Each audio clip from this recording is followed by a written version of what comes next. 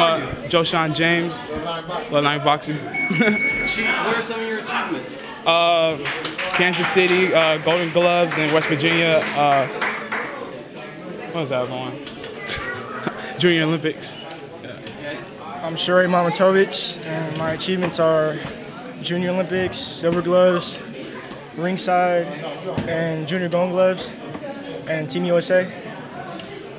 Named Joseph James. My achievements are uh, binational Olympics in Mexico, silver medalist, and 2015 IBA world champion, welter world champion. Uh, my name is Amisal Jimenez, and my achievements are the Silver Gloves, Junior Olympics, Golden Gloves, and USA.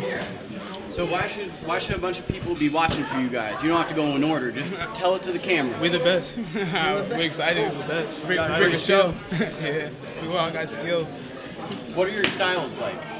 More of a boxer. all around. Basically, head movement, speed, power, everything. I say we're more of a athletic boxers. We move around a lot, and we just don't stay in one place. And where are you guys coming from and what gym? Coming from Richmond, Richmond PAL. Richmond PAL? Yeah. Uh, Dixon, California. Yeah.